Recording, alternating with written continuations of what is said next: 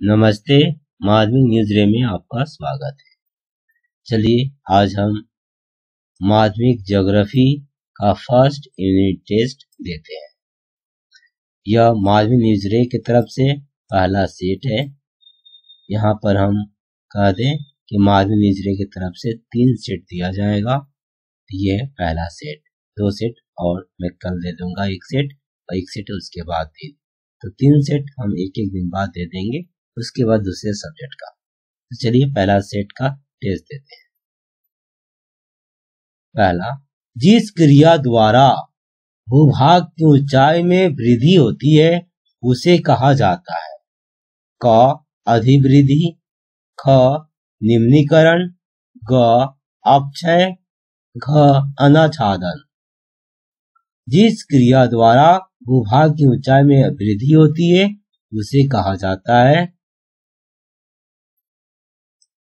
क अधिवृद्धि दूसरा प्रश्न, पंजा का डेल्टा की उत्पत्ति होती है। नील नदी के मुहाने, हांगो नदी, सिंधु नदी, मिसिसिपी, मिसोरी नदी के मुहाने में। पंजा का डेल्टा की उत्पत्ति होती है, मिसिसिपी, मिसोरी नदी के मुहाने में। अगला, भारत का सबसे छोटा राज्य है। क सिक्किम, ख त्रिपुरा, ग गोवा घ मिजोरम। भारत का सबसे छोटा राज्य है गोवा। चौथा, शिवालिक हिमालय के गिरिपदीय भाग में कंकड़ पत्थर द्वारा जिस मैदान का निर्माण होता है, हुआ है, उसे कहा जाता है।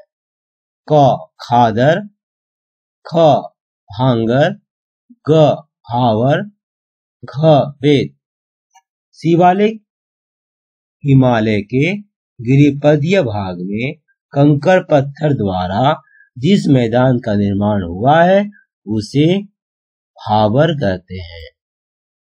अगला, चंदन लकड़ी के वृक्ष पनपते हैं। क, सदाबहार वन में।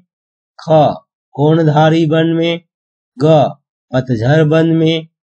ख मैग्रोव वन में चंदन लकड़ी के वृक्ष होते हैं। पतझर में अगला, जिस विधि द्वारा प्राकृतिक कारक भूपृष्ठ के ऊपर कार्य करके पृथ्वी की सतह पर परिवर्तन करते हैं, उसे कहते हैं। क, बहिर्जात प्रक्रिया। ख अंतर्जात प्रक्रिया, ग, भू संचलन, घ, पर्वतों की उत्पत्ति की प्रक्रिया। जिस विधि द्वारा प्राकृतिक कारक भूपृष्ठ के ऊपर कार्य करके पृथ्वी की सतह पर परिवर्तन करते हैं, उसे क, बहिर्जात प्रक्रिया कहते हैं। लवण युक्त चट्टानों के ऊपर नदी का मुख्य अपर्दन कार्य है। क अवघर्षण क्षय ख घर्षण क्षय ग द्रवण क्षय घ जल प्रवाह क्षय लवण युक्त चट्टानों के ऊपर नदी का मुख्य अपर्दन कार्य है द्रवण क्षय भारत का सबसे नया गठित राज्य है। क उत्तराखंड, ख तेलंगाना, ग छत्तीसगढ़ घ गोवा भारत का सबसे नया गठित राज्य है तेलंगाना। इस तरह आठ प्रश्न। किन विकल्पों में से सही उत्तर चिन्हित कीजिए। ये पूरा हुआ, अब आगे करते हैं। विभाग ख, दो का एक। निम्नलिखित में सही कथनों के आगे टी और गलत कथनों के आगे एफ़ लिखिए। पहला, पवन का कार्य मरुस्थलीय क्षेत्र में अधिक क्रियाशील है। टी। सही बात है। दूसरा, नदी का उद्गम हिम रेखा के ऊपर से होता है। गलत। एफ़। अगला सठिक शब्दों से रिक्त स्थान की पूर्ति करें। पहला एस्कर का निर्माण हिमानी के रिक्त स्थान कार्य द्वारा होता है। एस्कर का निर्माण हिमानी के किस कार्य द्वारा होता है? निक्षेपण मैं लिख दे रहा हूँ। यह निक्षेपण एस्कर का निर्माण हिमानी के निक्षेपण कार्य द्वारा होता है। अगला विभिन्न प्रकार के बाह्य बलों द्वारा भूमि के समतलीकरण को कहते हैं। विभिन्न प्रकार के बाह्य बलों द्वारा भूमि के समतलीकरण को क्या कहते हैं? उत्तर, आपका पर्यायन। या यू कह कि आपका तल संतुलन भी बोलते हैं। तल संतुलन या पर्यायन। मैं पर्यायन लिख दे रहा हूँ। फिर आपका पर्यायन अगला एक या दो शब्दों में उत्तर दीजिए। भारत में अवस्थित हिमालय की सबसे ऊँची चोटी कौन है? भारत में अवस्थित हिमालय की सबसे ऊँची चोटी का नाम क्या है? उत्तर कंचन जंघा कंचन जंघा अगला नर्मदा नदी की प्रसिद्ध जलप्रपात का नाम बताओ। धुआंधार जलप्रपात। चलिए मैं लिख देता हूँ। ये रहा भारत में अवस्थित हिमालय की सबसे ऊँची चोटी का नाम कंचन जंघा नर्मदा नदी की प्रसिद्ध जलप्रपात का नाम धुआंधार जलप्रपात। अब लिख लीजिएगा, धुआंधार जलप्रपात। धुआंधार। ध पर छोटो की मात्रा चंद्रबिंदु आ, धुआ, धार। ठीक है, आगे। बाएँ स्तंभ से दाएँ स्तंभ को मिलाइए। मरुद्यान, केंद्रीय कृषि अनुसंधान केंद्र। इधर दिया है टोर्नाडो, मरुस्थलीय आवास क्षेत्र, पूसा, बाढ़ का मैदान। मरुद्यान। मरुद्यान का आपका होगा मरुस्थलीय आवास क्षेत्र। मरुस्थलीय आवास क्षेत्र को मरुद्यान कहा जाता है। केंद्रीय कृषि अनुसंधान केंद्र का नाम है आपका पूसा। हो गया अब आगे।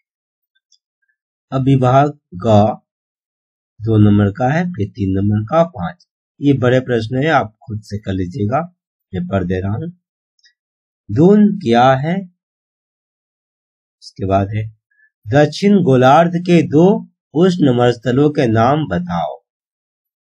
विभाग भेड़ पीठ, सेल एवं ड्रमलिन में अंतर स्पष्ट करें। भारत की पश्चिमी वाहिनी नदियों के मुहाने पर डेल्टा का निर्माण क्यों नहीं होता है? भारत की पश्चिमी वाहिनी नदियों के मुहाने पर डेल्टा का निर्माण क्यों नहीं होता?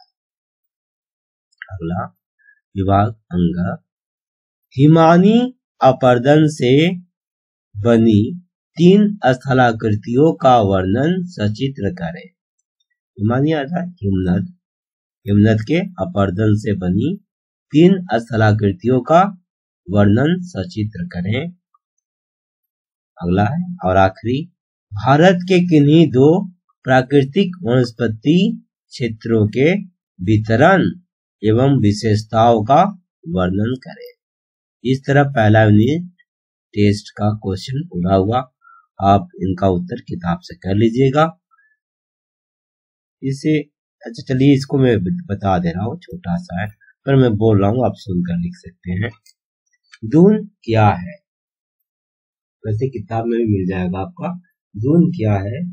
तो मध्य हिमालय मध्य हिमालय और शिवालिक हिमालय। मध्य हिमालय और शिवालिक हिमालय के बीच कई चौड़ी घाटिया पाई जाती है।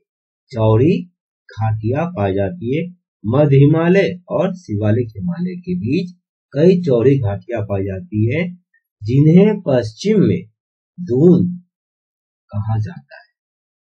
पश्चिम में दून कहा जाता है। अगर द्वार आ जाएगा ना, तब इसी को लिखेंगे।